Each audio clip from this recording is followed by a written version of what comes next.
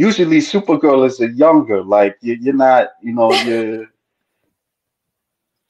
I mean, you, you, I mean, you're you're a beautiful woman, but I'm saying, but like you're you're you know maybe like um she's like a teenager or something, like maybe like early twenties.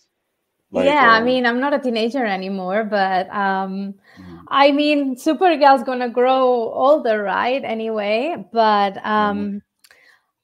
I also like this was supposed to be five years ago, and uh, you know, Mark okay. started this 2018 or, or, so. So yeah, it was five years ago as well. So we we did the first short. Um, we did the first short as kind of a trailer in 2019 before I left London.